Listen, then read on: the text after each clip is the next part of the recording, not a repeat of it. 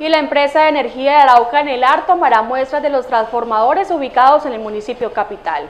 Se harán trabajos y desconexiones de energía programados en diferentes puntos por lapsos de 30 minutos.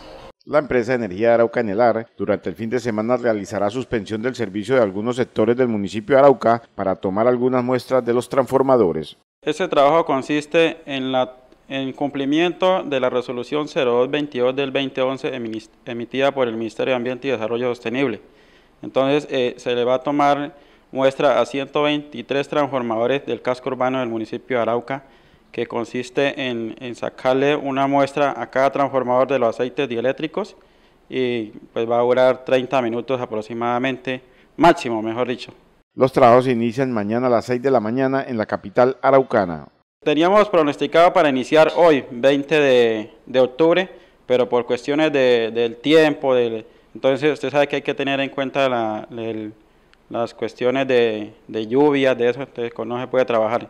Sin embargo, pues mañana a partir de las 6 de la mañana iniciaríamos y terminaríamos el 3 de noviembre, tiene, dependiendo del tiempo, vuelvo y repito. ¿sí? 30 minutos durará la toma de muestra de cada transformador, tiempo que se suspenderá el servicio de energía en el sector.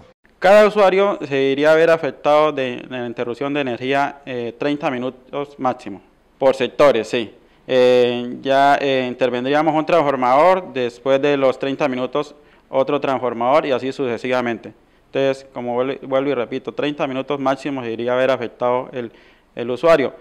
También pues aprovecho para invitar a los usuarios de que eh, como nosotros estamos pasando eh, volantes, perifoneo, entonces eh, que ellos estén preparados a hacer desconexiones de los equipos electrónicos para que no, esto no se afecte en el momento de que se suspenda la energía. Una cuadrilla estará encargada de realizar las tomas de muestra de los diferentes transformadores. Una cuadrilla, bueno, la cuadrilla de cuatro, el conductor y el HSQ y el interventor ambiental. Los sectores estarán por un término de 30 minutos sin el servicio de energía mientras se realiza la toma de muestra.